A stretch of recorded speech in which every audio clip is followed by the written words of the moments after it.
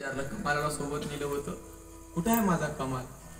कुठं आहे म्हणल्याच्या नंतर ती मुंडी समोर केली? सांगितलं आज साधू संतांच्या भोजनासाठी तुझ्या पोराला बलिदान द्यावं लागले. महाराज कबीरजी महाराज अंतकरणातून ढसा ढसा रडायला लागले. कमालाला सांगतायत कमाला आज तू कमाल केली रे. आज तू कमाल केली. हा कबीरा अर्धा राहिला पण तू पूर्ण झालाय तू पूर्ण झाला. महाराज ते असं मान जेव्हा पाहिली का नाही त्या लोईने त्या कमालाच्या म्हणजे आईनं पाहिली का रडली नाही बघा. रडली नाही. का रडली नाही? जर मी आता रडत बसलो तर दारामध्ये आलेले वारकरी वापस तसेच निघून जातील. भोजन तर त्यांना घालायचं भोजन घातल्याशिवाय जमत नाही. काय करावं? महाराज तिनं तसंच भोजन बनवलं बघा. एका टोपल्याखाली ते झाकून ठेवलं मान. ती मुंडी जी होती ना का टोपल्याखाली झाकून ठेवली. आणि सर्व साधू संतांना यथेष्ट पोटभर भोजन घातलं. बघा. पोटभर भोजन घातलं.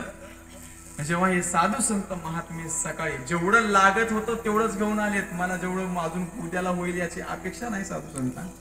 जेवढं लागते ते पोटभर आलो जेवण वगैरे झाल्याच्यानंतर साधू संत महात्मे निघाले तिथून निघाल्याच्या नंतर इकडं बोंबाबोंब झाली चोर पकडला चोर पकडला चोर गटला. चोर सापडला चोर सापडला. पण आता फाशी कोणाला द्यावं? ओळखू ओळखू येत नाही ना मानच नाही. काय केलं? राजाजवळ हे दंड घेऊन गेलं तसंच. उरलेलं दंड त्या राजानं सांगितलं या दंडालाच सुळावर चढवा. या दंडाला सुळावर चढवा. महाराज याला सुळावर चढवण्याचं ठरवलं. कोणाला? कमाल महाराजांना. कमालाला त्या सुळावर बांधलं. आणि बांधल्याच्या नंतर वारकरी महात्मे तिथूनच जात होते. बघा तिथूनच रस्ता होता. भर चौकातूनच भर चौकातच फाशी द्यायची ठरवली होती. तिथून ते वारकरी जात असते वेळेस. त्या कमाल महाराजांचं जे दंड होतं का नाही दंड? महाराज तेच असं हात वर करून हात जोडायला लागलं म्हणजे साधू संत महात्म्याचं दर्शन मला झालं नाही ना? आता कमीच कमी इथून माझ्या जवळून चालेल आता तर दर्शन घेतलं पाहिजे. काय अंत करणं बघा तुम्ही काय अवस्था आहे ते अंत करण्याची काय प्रेम असेल साधू संताबद्दल? आहे का आपल्याला? आहे का तसं? कधीतरी वाटतं का साधू संत घरी यावेत म्हणून? चाललेल्या महात्म्यांना हात जोडून असं ती असं हात जोडत होतं.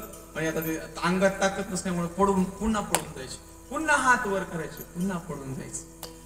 काय अवस्था असेल. उघड डोळ्यासमोर प्रसंग आणून बघा ना साधू संतांच्या जीवनामध्ये केवढा त्रास भोगायचा पुन्हा हात पडून जायचे. या साधू संतांनी पाहिलं महाराज त्या दंडाक्ष त्या शरीराकडे पाहिलं त्या प्रेताकडे पाहिलं आणि विचार करतायत. कमा कबीरजी महाराजांना विचारलं का हो?